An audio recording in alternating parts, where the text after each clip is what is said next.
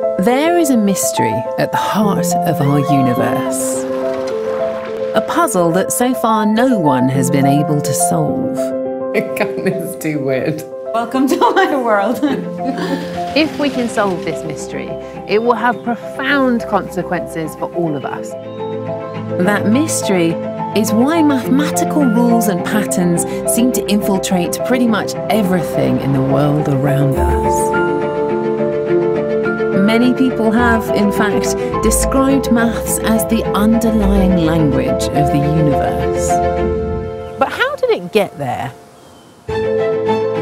Even after thousands of years, this question causes controversy. We still can't agree on what maths actually is or where it comes from. Is it something that's invented, like a language, or is it something that we have merely discovered? I think discovered. Invented. It's both. I have no idea. Oh my god! Why does any of this matter? Well, maths underpins just about everything in our modern world. From computers and mobile phones to our understanding of human biology and our place in the universe. My name is Hannah Fry, and I'm a mathematician. In this series, I will explore how the greatest thinkers in history have tried to explain the origins of maths' extraordinary power. You ruined his equation.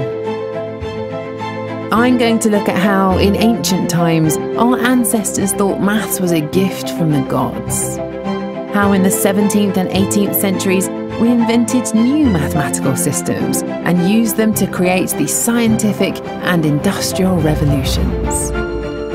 And I'll reveal how, in the 20th and 21st centuries, radical new theories are forcing us to question once again everything we thought we knew about maths and the universe.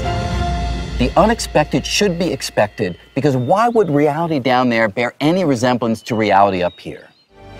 In this episode, I discover how maths led Victorian scientists into a world of invisible forces and particles we cannot see.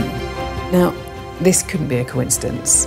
And I reveal why the concept of infinity broke the rules about where maths comes from. I'm very tormented by infinity. Is infinity real? I do not know the answer to that question.